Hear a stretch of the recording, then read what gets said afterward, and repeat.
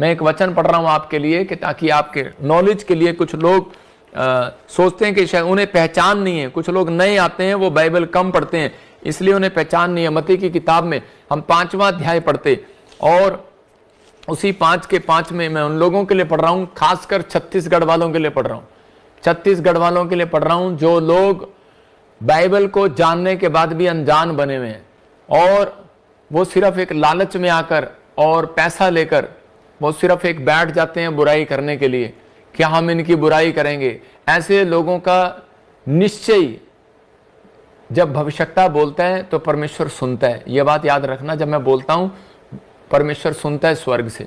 और मैं इसको पढ़ रहा हूँ नीति मती की किताब पाँच का ग्यारह लिखा, दस से पढ़ेंगे यहाँ दस से लिखा, धन्य वो धर्म के कारण सताए जाते हैं, क्योंकि परमेश्वर, वो परमेश्वर धर्म के कारण सताए जाते हैं, क्योंकि स्वर का राज्य उन्हीं का परमेश्वर का आत्मा बात कर रहा आपसे, कह रहा धन्य वो धर्म के कारण सताए जाते हैं,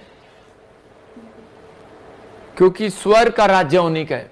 ये याद रखना स्वर का राज्य उन्हीं का है जिनको तुम टॉर्चर करोगे कुछ आजकल भेष बदल के। बाइबल बोलती है इस बात की, वो भेष बदल के, पास्टर का, प्रॉफिट का, पोस्टल का खड़े हो जाएँगे।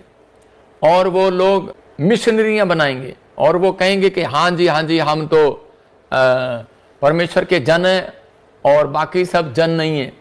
मैं कह रहा हूँ उन लोगों को जिनको घमंड है इस बात का कि हम बहुत पुराने, हम बहुत पुराने से सेवा कर रहे हैं। और आज तक तो हमने ऐसा नहीं किया जैसा ये कर रहे हैं। मैं कह रहा हूँ कि अंत समय के दिनों में बाइबल बोलती है, ऐसा होगा। कि लोग भरमाए जाएँगे, उन्हें पहचान नहीं होगी। आज बहुत सारे लोगों को पहचान नहीं हो रही कि वो लोग सिर्फ़ पैसा लेकर, जिन्होंने योहदा स्क्रोती ने यीशु मसीह को बेच दिया था, यीशु मसीह को पकड़वा दिया, सिर्फ़ तीस चांदी के सिक्कों के लिए। और आज भी बहुत सारे लोग जो हैं, मैं देख रहा था कि एक दूसरे धर्म के लोग बुराई करें तो करें, लेकिन क्रिश्चियन लोग भी बुराई करते हैं तो मैंने कहा, परमेश्वर, तेरा धन्यवाद हो। परमेश्वर ने मुझे वचन दिया और कहा कि जो धर्म के कारण सताए जाते हैं उनको स्वर्ग में जगह मिलेगी। लेकिन जो सताए नहीं जाते ना, जिनको डर है, जिनको शर्म है कि मुझे, हाय, कहीं ऐसा ना हो, कहीं मुझे मेरी पिटाई ना हो जाए, हाय, कहीं मेरे पे केस ना हो जाए, हाय, कहीं मेरे बारे में लोग मेरी बुराई ना कर दें, हाय, कहीं वीडियो मेरी खराब ना हो जाए, मेरी नाम धराई ना हो जाए, मुझे लोग ये ना कह दें। तो उसी समय मैं उन लोगों के लिए बता रहा हूँ कि एक चैनल वाला छत्तीसगढ़ में, वो क्या कर रहा है? वो भेड़िया नाटक कर रहा है यीशु मसीह के नाम का। और वहाँ पर वीडियो बना रहा, छत्तीसगढ़ से कह रहा है कि जी मैं चैनल चलाता हूँ और छत्तीसगढ़ में मैं मेरी इजाज़त के बगैर छत्तीसगढ़ में मीटिंग नहीं होगी। अबे तू परमेश्वर है क्या? अरे तेरे लिए बोल रहा हूँ, तेरा बाप हूँ मैं, वहीं आऊँगा।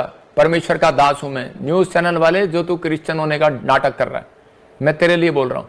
मैं आज तक बोलता नहीं हूँ, लेकिन तेरे लिए बोल रहा हूँ। खुदा के काम के लिए मैं बोलता हूँ। और अब मैंने 40 वकील रखे हैं, हर स्टेट के लिए एक वकील। जो सा बोलेगा, उसके ऊपर सीधा मैं वहीं से पुलिस प्रशासन कुछ करे ना करे। लेकिन कोर्ट हमारा है, हमारा हक है। लिखा, परमे, जो परमेश्वर का है, परमेश्वर को दो, जो सरकार का है, सरकार को दो। और 40 वकील इस संडे तो मैं लाइव में दिखाऊँगा। कुर्सी लगाकर बैठे होंगे, टेबल रखी होगी। और उसके बाद उन्हें आशीष दूँगा।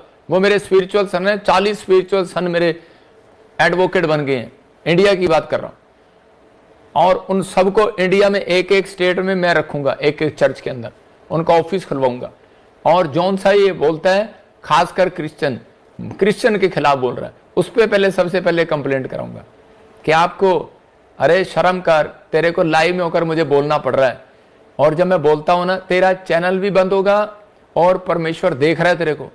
जल्दी कह रहा तेरा न्याय भी होगा। इस बात का न्याय भी होगा। इस व्यक्ति ने, मैं इसकी वीडियो कटवा कर दिखाऊँगा, इस व्यक्ति ने क्या बोला? इसने बोला, हमारी इजाज़त के बगैर धरती पर कोई काम नहीं होगा, कथा मेरे चैनल के बगैर। कौन है ये? Christian channel. अन्य जाति बोल दें तो बात अलग है। क्रिश्चियन चैनल बोल रहा है कि मेरी धरती पर मेरी इजाज़त के बगैर कोई काम नहीं होगा छत्तीसगढ़ में और कथा ना स्वर्ग में होगा। इसने कितनी बड़ी परमेश्वर के विरोध में यह बात कही है। तेरे लिए बोल रहा हूँ, डर परमेश्वर से। तेरा नाम मैं जानता नहीं हूँ, लेकिन तेरी फ़ोटो तेरी वीडियो ज़रूर दिखाऊँगा कल। और तेरे ऊपर कंप्लेंट कराऊँगा और तुझे छोड़ूँगा नहीं अब मैं। क्योंकि तू मेरे परमेश्वर के खिलाफ बोला है। तू स्वर के खिलाफ बोला है। इंसान के खिलाफ नहीं बोला। मैं तो चुप हो जाऊँगा। लेकिन जो काम वकीलों लोग हैं, वो अब वो करेंगे। मैं नहीं करूँगा। क्योंकि लिखा है, जो सरकार का है, सरकार को दो, जो परमेश्वर का है, परमेश्वर को दो। अगर परमेश्वर की मर्ज़ी होगी तो आऊँगा भाई। नहीं, अगर परमेश्वर की मर्ज़ी होगी तो नहीं आऊँगा। तेरा बाप भी मुझे नहीं रोक सकता। मैं डरता नहीं हूँ किसी से। मैं बोल रहा हूँ, परमेश्वर का काम मैंने दिलेरी के साथ किया और दिलेरी के साथ स्टार्ट करता हूँ। और दिलेरी के साथ करूँगा। मेरा परमेश्वर गवाह है इस बात का। पवित्र आत्मा आपको आशीष दे, क्योंकि परमेश्वर ने इन दिनों में ऐसे ही भविष्यता खड़े करने हैं कि जो अड़े रहे और खड़े रहे, आप जैसों के लिए। आइए हम सब अपने हाथों को उठाएँ और परमेश्वर का धन्यवाद करें, क्योंकि मैं कहीं और चला गया था अभी थोड़ी देर।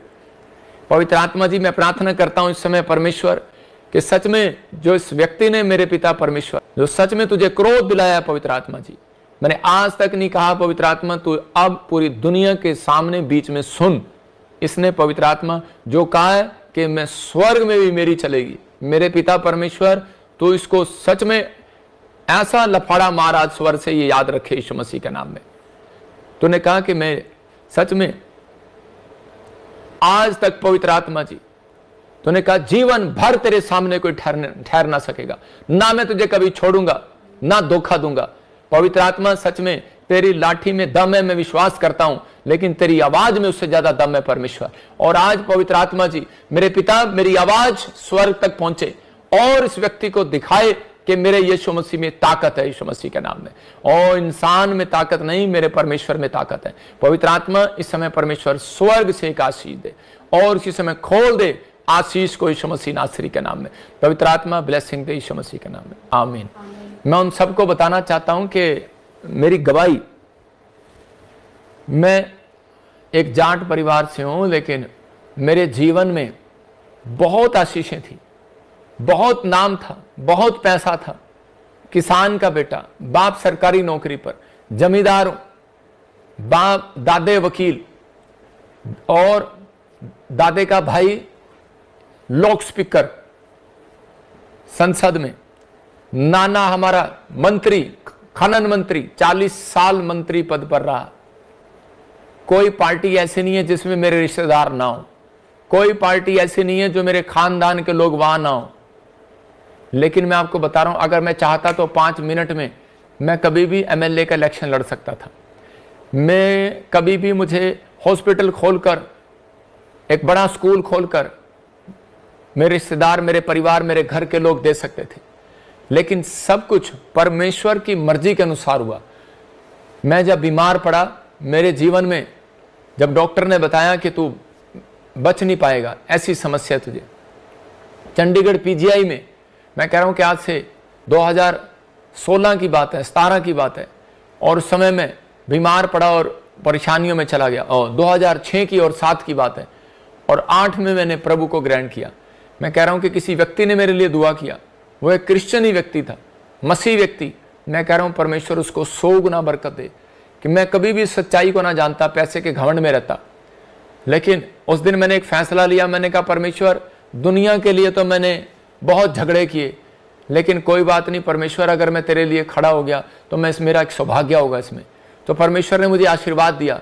ये तुम्हारे जैसे चौंचलों से मैं डरता नहीं हूँ। और पवित्र आत्मा महान परमेश्वर है। उसने कहा, जिसके, जिधर तू हाथ कर देगा, मुझे एक आशीर्वाद दिया था, जिधर तू हाथ कर देगा, वहाँ लोग चंगे हो जाएँगे। मैं इधर से हाथ करता हूँ, मुझे ज़रूरत नहीं है वहाँ पर आने की। अगर मैं यहीं से हाथ कर दूँ, यहीं से लोग चंगे होने लग जाएँगे ईश्वर मसीह के नाम में।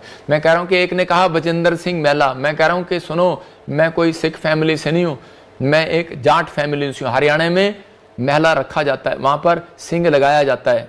समझ रहे ना कि? कि वहाँ पर विरोध जो लोग कर रहा है, जो भी कोई अपने आप को शासन को चला रहा है, मैं कह रहा हूँ कि आप परमेश्वर की प्लान को नहीं जानते, आप परमेश्वर के विरोध में ना खड़े हो। अगर आप परमेश्वर के विरोध में खड़े होंगे, उसका न्याय परमेश्वर करेगा। मैंने बहुत सारे लोगों को देखा है इस दुनिया से प्रॉब्लम में जाते हुए और उनका सॉल्यूशन निकलते हुए। लेकिन सॉल्यूशन उन लोगों का निकला जिन लोगों ने परमेश्वर के सामने माफ़ी मांगी। अगर आप अभी भी मेरी बात को समझ जाएँ परमेश्वर न्याय करता है हर चीज़ का। हम किसी के साथ कोई गलत काम ना करते, ना हम धर्म बदलते, ना हम किसी को बदलने के लिए आदेश देते। हम तो प्रार्थना करते हैं और वचन से प्रचार करते हैं कि ताकि लोगों का जीवन बदले। और पवित्र आत्मा आपको आशीष दे। आज का हमारा टॉपिक है तो हम